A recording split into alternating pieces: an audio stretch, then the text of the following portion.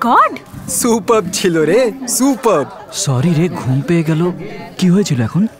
খুবই আনএক্সপেক্টেড ছিল তাই না? কীভাবে ফেলল রে ও তাকে I know That was and, and amazing. the way they took that shot it was like a proper এভাবে angle. বল না কি হয়েছিল রে। এখন সেকেন্ড হাফ হাফেও না অতই ইন্টারেস্টিং হওয়া চাই। ইয়েস তখন মজা লাগবে। আরে এখন তো বল না কি হয়েছিল এত দর কেন দেখাচ্ছিস? তুই যা ঘুমিয়ে পড়। এখন তুইও বলতে থাক। পার্মানেন্ট হতে হবে। তাই রাত জেগে কাজ করতে হয়।